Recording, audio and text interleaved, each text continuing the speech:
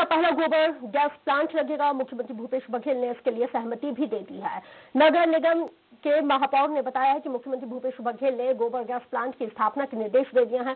गोबर गैस से पूरे शहर में सस्ती दर पर गैस मिलने लगेगी और प्रदेश के इस पहले गोबर गैस प्लांट के लिए मौका, गौठान में एक हज़ार गाय आपको बता दें, पालने की योजना है और गोबर गैस प्लांट से जहाँ सस्ते में गैस मिलेगी तो वहीं कई लोगों को रोज़गार भी मिलेगा और गायों के लिए चारे की भी व्यवस्था की जाएगी।